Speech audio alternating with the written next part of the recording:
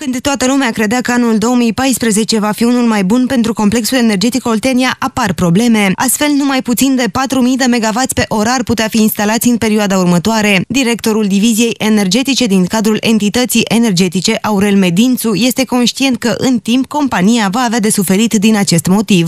Nu va avea loc așa de suferit, dar după ce vor intra în uh, funcțiune, bineînțeles că va avea de suferit. E o veste prost. Mai ales că s-au înghesuit uh, avizele ăștia în uh, ultima zi a anului, pentru că dacă treceau uh, în 2014, apetitul nu mai era așa mare, pentru că s-a redus uh, numărul de certificate, cele la care se dă aviz uh, începând după 1 ianuarie 2014.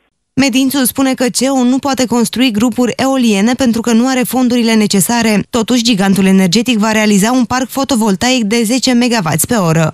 Singurul element care e în strategia și în planul de investiții e vorba de un parc fotovoltaic având suprafețe, suprafețele necesare montării acestor echipamente